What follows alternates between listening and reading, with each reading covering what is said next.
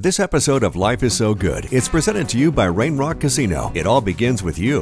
Places to go, things to do, and the people behind some of the great food in Southern Oregon. It's why life is so good.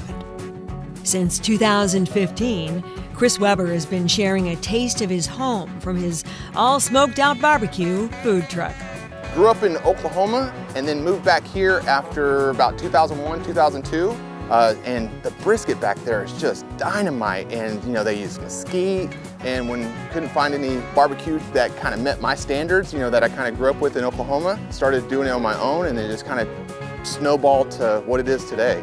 Some people call it Texas style, but you know, I, I, it's pretty much the same, but maybe Oklahoma might be a little bit better. Now, Chris brings that Oklahoma style barbecue back here to the Rogue Valley. Even having mesquite wood shipped in special for his rotisserie, and you can smell that delicious scent from down the street. It's a big rotisserie smoker. It holds probably like 600 pounds of beef or, you know, meat. Work it chicken. It's awesome. It's a rotisserie, everything's self-based, and it's just melts in your mouth. Sauce on the side, because we serve our meat with pride. Chris is a bona fide barbecue master and makes everything himself. We make our own coleslaw dressing, we make our own rubs, yeah, our barbecue sauces.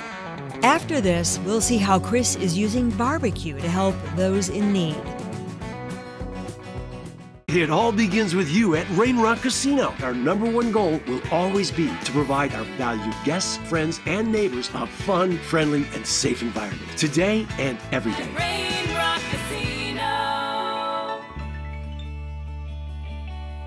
All Smoked Out and over 100 other local restaurants have come together with the organization Rogue Food Unites to deliver hot meals to those still in need from the Alameda fire. We've been doing this for about the last nine, ten months or so, almost a year now. I mean, you want to talk about fulfilling. You know, you're going down there and feeding somebody, maybe not in their best, you know, moment of life, and so to provide them a warm meal and then to show up and like, oh, it's all smoked out barbecue, you're our favorite.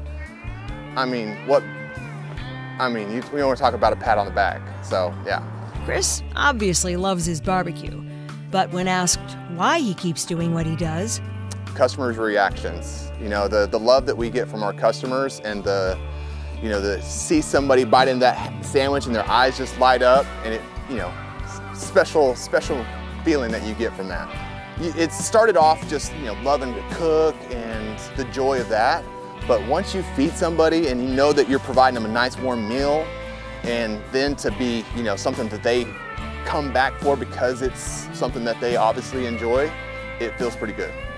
Now, I actually sometimes even ship it back home to my friends there because, you know, they like my barbecue so much. So it's pretty cool. All Smoked Out is all heart. And that community spirit is why life in Southern Oregon is so good. Places to go, things to do, and the people behind some of the great food in Southern Oregon. It's why life is so good.